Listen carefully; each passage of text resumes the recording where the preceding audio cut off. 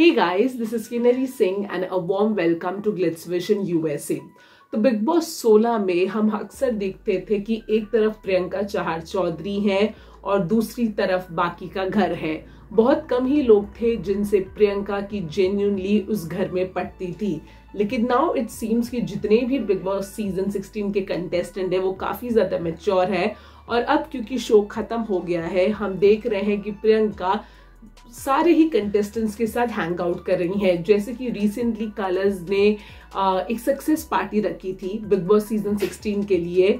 वहाँ पे हमने देखा था कि कैसे सौंदर्य और प्रियंका एक दूसरे का हाथ पकड़े हुए हैं, मुस्कुरा रहे हैं, एक दूसरे को यू नो चिक्स पे किस दे रहे हैं बाय कर रहे हैं। और वहीं दूसरी तरफ़ हमने देखा कि जब केक कटिंग हो रही थी तो किस तरह से प्रियंका ने शिव का हाथ पकड़ा था और शिव, प्रियंका और एमसी स्टैंड ये तीनों बातें कर रहे थे।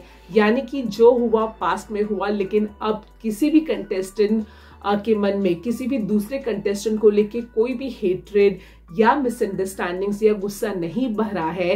And it is actually very good to see all the contestant tagging along hanging around with each other आप ज़रूर बताइए कि आपको बिग बॉस सीज़न 16 की सक्सेस पार्टी से कौन सा मोमेंट सबसे ज़्यादा अच्छा लगा in the comment section below and also for such updates do subscribe to Glitz Vision USA Hi, I am Nia Sharma and you're watching me on Glitz Vision USA.